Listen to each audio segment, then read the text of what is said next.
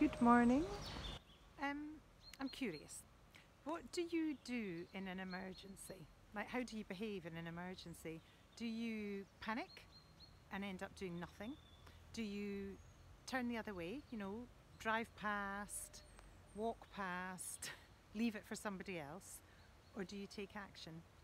Because um, these are the ways that people behave. And many of us just turn the other way, don't we? Leave it for somebody else. But what happens if it's somebody that you care for, somebody you're connected with? Maybe it's a, one of your children, one of your other relatives. What if it's somebody you work with and something happens to them and it's an emergency? Let's say they get a terrible gash of some sort and they're bleeding. Do you turn away then? Do you leave it to other people or do you try to do something? Now, I suspect most of us would try to do something. We wouldn't go, oh, that's their problem, you know, it should heal eventually, or, you know, hope that something else or somebody else does something about it. You'd step in, wouldn't you? And you'd do something.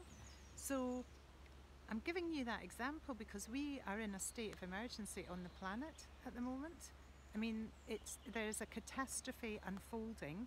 We're in the beginning, and the climate scientists, the IPCC, the Intergovernmental Panel on Climate Change, which is the UN, like, you know, world organization, has told us not that we've got 10 years left, we've got 10 years till we hit 1.5 degrees. Um, so the emergency is now, it's not 10 years' time, it's not five years' time.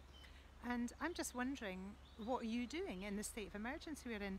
Because just like you would do something if it was somebody you were connected to, well, you're connected to the earth like you know we're all connected to the earth because without her and without her amazing ecosystems working the way that they can we're toast. Oh great.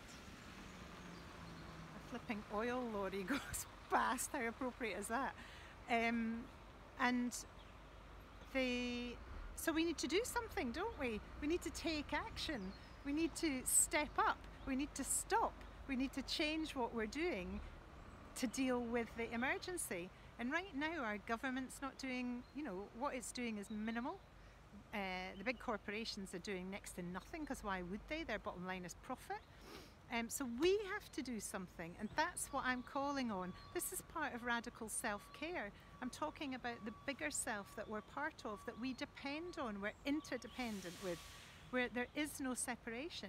So if you would do it for your child, if you would do it for your mother, your father, your granny, your neighbour, your work colleague, then you need to do it for the planet. You need to make those changes. And, and I think you know what some of the changes are that you could be doing. So, you know, be brave, be courageous, and do it.